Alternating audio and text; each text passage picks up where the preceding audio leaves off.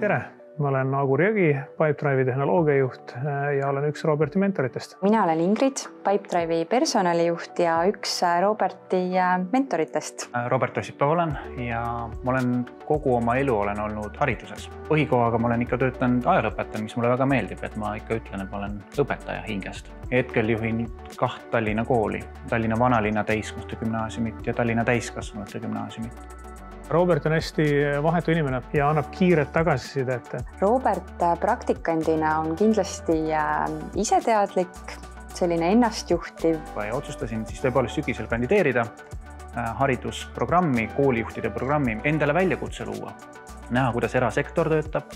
minu selline elu moto on ka alati olnud elukestev õpe ja, ja see, et me iga oma eluetapis, erinevates etappides õpiksime midagi.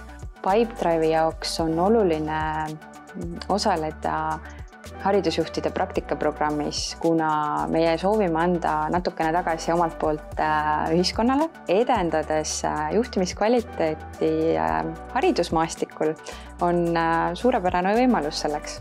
põhiline põhjus, miks Pipedrive on selles programmis kaasas olnud, on just nimelt see, et teha siis tulevastele töö ja eriala valijatele uks lahti selle IT-maailma suunas, kus kohas spetsialistide pealekasv ja IT-valdkonna valimine oma erialana ikka mujalt peale hakkab kui koolist.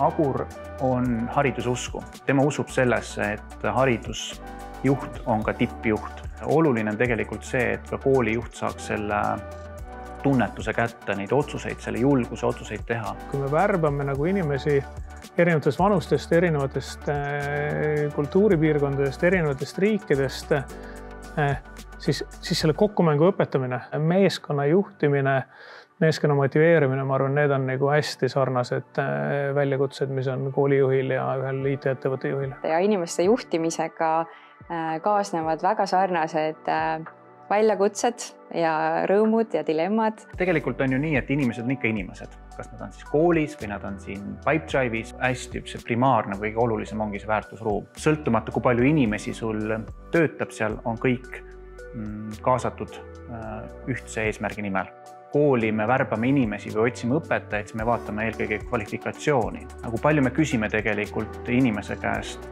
mis on sinu ootused või mis sa, mis sa tahad saavutada siin või mis on sinu eesmärgid üldse. mis mulle väga meeldib, on äh, igasugused e-lahendused. täna võiksid äh, nii mitmedki siin töötavad inimesed tulla kooli ja, ja õpetada digilahendusi, robootikat, koodide murdmisi, et see on tulevik tegelikult. Teeme nagu koostööd hariduse ja erasektoriga, et näidata ka ühiskonnale, kui vajalik on õpetajatöö ja kui olulised on koolijuhid, kes võiksid neid muutusi ka ellu viia